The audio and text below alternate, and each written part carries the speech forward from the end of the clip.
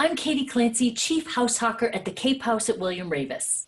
And I'm Sarah Lapsley Martin of T. Martin Lapsley of Kinlin Grover Real Estate. And this is What's Good Cape Cod, where we show you the Cape through eyes of a couple of locals. Every week, we'll tell you about a person, a place, and a thing that we think you should know about.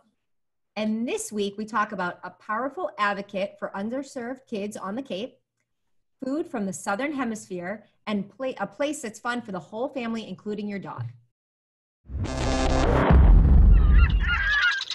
So our person of the week is Rene King.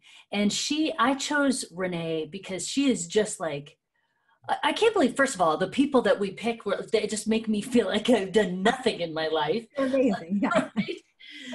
So um, Rene uh, retired from working at IBM, and I mean, her whole life she's been a giver. But she, um, I met Rene when I became involved with the Y Achievers program, and she runs it. So the Y mm-hmm. Achievers program is for underserved kids on the Cape who want to go to college and have great uh, futures. She just gets it. Nothing's impossible to Rene. She's like, nope, we got it. We'll figure it out. Just rolls with whatever's coming her way. She's. It's kind of funny to be around this person at the same time who's got like incredible energy, intense energy, but at the same time makes you feel so calm. Like yeah. I feel so safe. Like, like you'll be my mom. I mean, I have a great mom, but like well, the kids are so lucky to have someone like that to advocate for them. Uh, absolutely. And she does. And that she does. She makes a point to get to know every single kid. She doesn't leave anybody behind, but at the same time, she has standards. And yeah. if you be part of that program, then you are going to step two. And I yeah. think the kids really respect that. It. It's just, she's awesome. I, you know, she wants I, to help, but she means business. It sounds she, like she absolutely does. So, um, I'd love for you know. So, if you uh, want to know more about Rene, go check her out at the Y, the Y, Achiever, y Achievers program. Um, and she's always looking for another set of hands to just help out in any way, shape, or form. And I'll tell you, you will be better for it by being part of something with Rene. So, all right. So that's our person. What is our place this week? Our place is Karoo. Yes, yes. So Karoo restaurant. So Southern Hemisphere, South African food. Who knew? You're on Cape Cod. It's it's amazing. South African food on Cape Cod. So I don't know what you said. It took me a while to go because I was like, I don't know what South African food is. I agree. I agree. I did the same thing.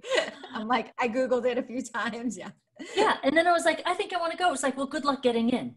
like, oh, all right. Who do, wow. Um, and so I've only been there twice because it is, so I live in Dennis. So it is up, it's in Eastham. Yeah. And so it's, you know, it's a bit of a trek for us, but it's just such surprising flavors. And, and I love the fact that, um, that it's here at all. Yeah.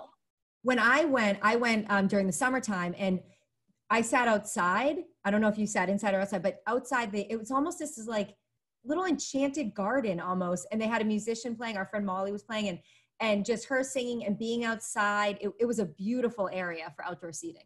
And I love that it's a woman chef there. I agreed. Cool. Agreed. And agreed. it's not just South African food. It's a no. well, it's the British, Dutch, African, Malaysian, Portuguese, Indian, like just stuff that I don't, you know, just just flavors and things that I usually don't get to experience. And I thought the server, we had a server that was so awesome. I was like, you know, what what is this? What should I try? What's your favorite? So I tried things that I wouldn't maybe have known what they were or or tried normally, and everything was amazing. Yeah, so good. Um, all right, so with that, I'm starving. Thank you very much. Have not had lunch. Won't get a chance till later, yeah. but um, well, maybe I'll drive to Eastham. Yeah. um, all right, so that's with our person, with our place. What is our thing this week? So our thing this week is Hathaway's Pond, which is in Barnstable off of Phinney's Lane. So getting out there, enjoying the outdoors. Um, so this pond is a favorite of Mar- Marty and I year round. We actually go. Um, so around the pond, there's about a mile and a half loop around the pond that you can walk, and it's it's a hike. Um, you know, I don't have my two year old walk it. We you know put her in a carrier, but it's it's not that challenging of a hike. Um, so you can go around the loop. You can have your dog on a leash, which, which is awesome. And then in the summer months, there is a pond area. So they they have it like roped off. There's a lifeguard, and it's a beautiful, clean pond to swim in. Um, in the summer, if you go before four, I think you do need the Barnstable Beach sticker, or you can you know pay to park. Um, but after four, you can go for free. There's grills all set up and picnic tables. So it's a great place to bring your family. Um, and like I said, we go in the winters and we love it. There's no Well, the there. dog park is there Yeah. too. Well, and that's the new thing. So about maybe a year and a half ago, they opened the Barnstable Dog Park. So now, you know, we walk the le- the loop with the, our dog on the leash, but you can now go to the Barnstable Dog Park, which is right there, and they have, you know, it's it's large. They have the three sections. So you have the training area, the small dog, and then the large mix area, and your dog can be off leash and hang out and just have fun. So there's great options for the whole family there. Yeah, I, I I love that. I've I've done a some good hikes there too. Yeah. Um, and definitely, I, I used I went to the dog park before I did any hikes. I had no idea you can go all the way around. Yeah, it's amazing because it's it's just great that it's a loop. And the other great thing, which I'm sure we'll talk more about Cape Cod beer in another episode, Oh, but it's like literally right across from Cape Cod beer. Yeah. So you can have a whole day of it, go to Cape Cod beer after. But yeah, yeah, yeah. Of course, you had great to location. beer. Yeah, I know. That's how it goes. Exactly. Oh, that's awesome. This is a good week. We got to your person, your place, your thing. That should keep you busy, right? I think so. If you keep following us, before long, you're going to know Cape Cod like we know Cape Cod.